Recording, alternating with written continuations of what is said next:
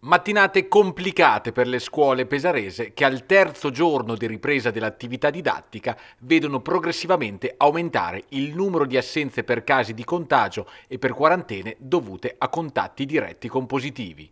Emblematico il caso del liceo Marconi, istituto superiore ad alta demografia studentesca, nel quale oggi si contavano 500 defezioni all'appello. Tradotto, uno studente su tre è rimasto a casa e gli è stata consentita la didattica a distanza. Assenze dai banchi, assenze anche dagli autobus. Effetto domino dell'entrata in vigore da oggi del Green Pass rafforzato per salire sui mezzi pubblici. Non su tutti però. Sul trasporto scolastico dedicato è stata infatti applicata la deroga di entrata in vigore del Super Green Pass al prossimo 10 febbraio.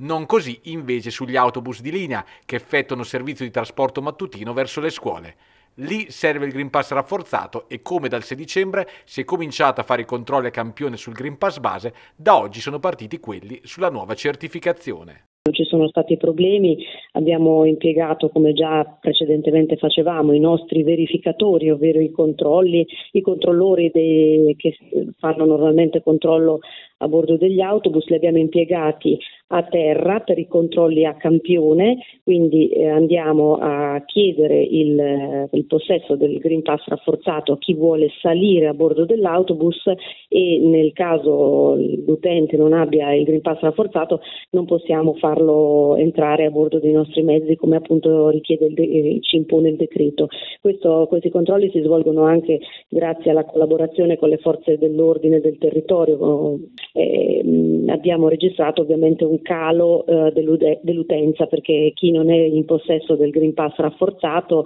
ha responsabilmente scelto di non utilizzare i mezzi pubblici per recarsi a scuola o nei luoghi di lavoro, eh, cosa che sicuramente è apprezzabile perché altrimenti eh, ci, ci, pone come azienda e come gestori di un servizio importante come quello del trasporto in una situazione di grave disagio e in imbarazzo perché ovviamente noi eh, puntiamo sempre ad offrire il servizio e se non possiamo ci troviamo nelle condizioni di dover impedire a qualcuno di utilizzare i nostri mezzi è sempre una cosa piuttosto gravosa, ma questo ci, impone, eh, ci impongono le nuove disposizioni del governo e questo noi dobbiamo applicare alla lettera per eh, ovviamente il bene e la tranquillità di tutti, soprattutto in questo periodo.